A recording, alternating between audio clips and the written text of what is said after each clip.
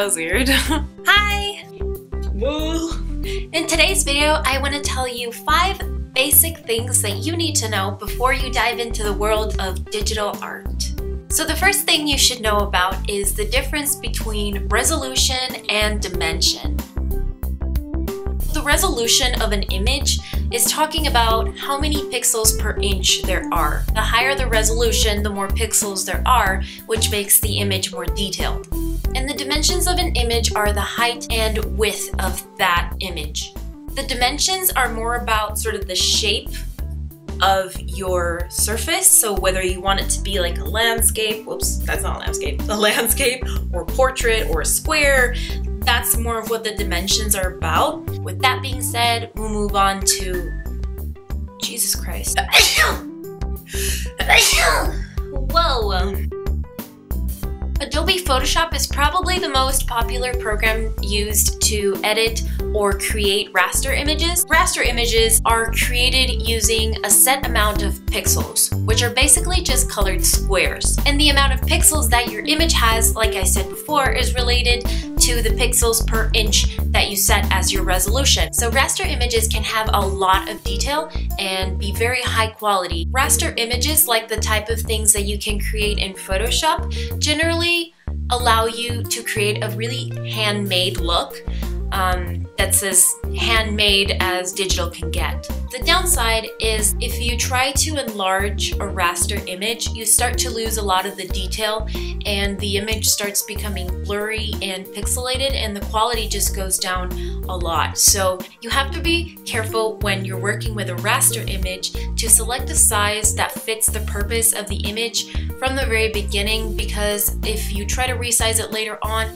it's not going to look as good as you want it to. Because you have to make your images fairly large most of the time, that ends up making the files pretty large too. So those are two things that you need to keep in mind if you're creating raster images. Adobe Illustrator is probably the most popular software used to create vector images.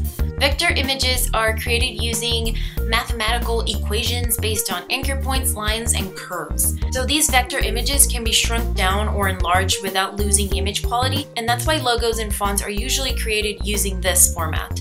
The file sizes are also usually more conservative, but compared to raster files, the vector format is a little bit more limited in the amount of detail you can add to the image.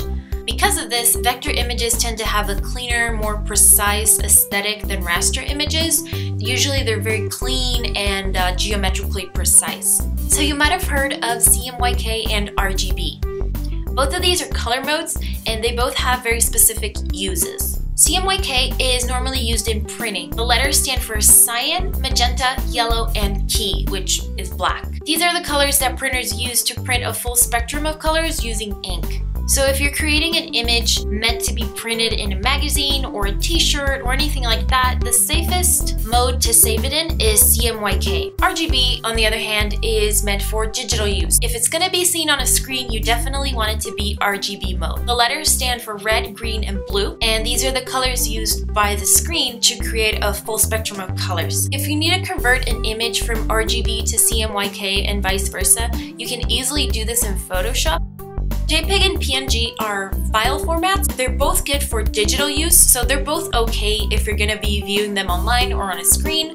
For printing, JPEG is usually the best option, but if you're gonna be printing with a printer or something a little bit more official like that, just make sure you ask them first because some places like PDFs better. But for printing at home or something like that, JPEG is probably the best bet. JPEG format is really good for photographs or drawings or very detailed images and PNG is good for line drawings, graphics, or anything with a transparent background. Some people will argue that there is a huge difference between the two, but really the greatest difference is that JPEG does not save a transparent background. If you try to save something with a transparent background as a JPEG, it'll give it a white background. But if you save as a PNG, it'll save that transparency so that if you want to use it somewhere online, your image will look like it's floating on top of the background.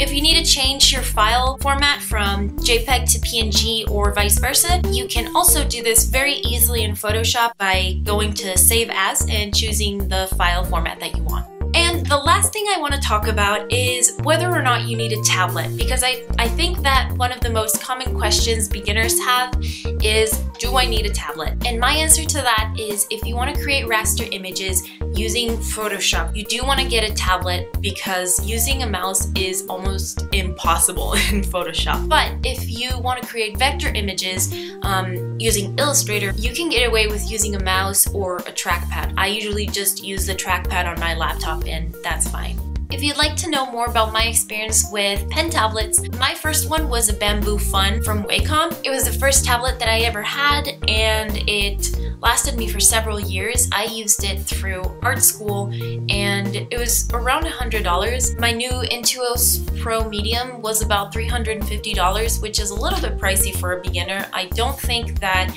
you need to spend that much and people in general think that size is really important as far as tablets, and I really don't think so. This is the Bamboo Fun that I had for years and years, and it's still in pretty good condition, so if I ever need it, I, I could still just pull this out and use it. Here's the Intuos Pro Medium. It's pretty big, but the usable area is actually just right here. Um, so this is kind of just like for show. And what I can use in the Bamboo Fun is this area right here.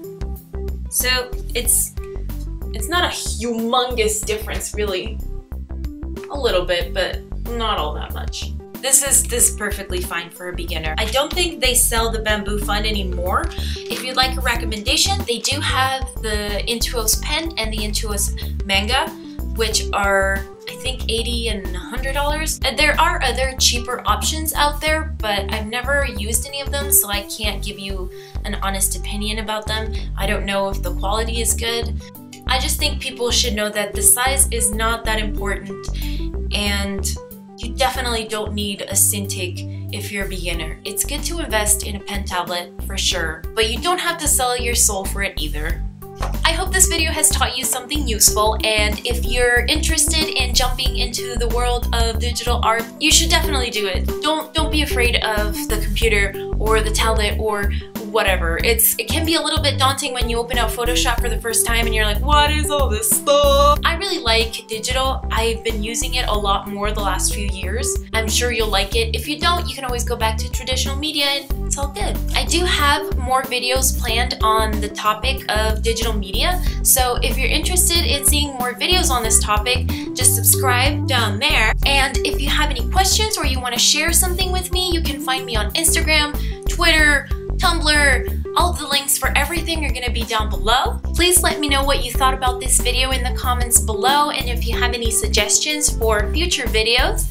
And that's all for today. I will see you guys next time. Bye!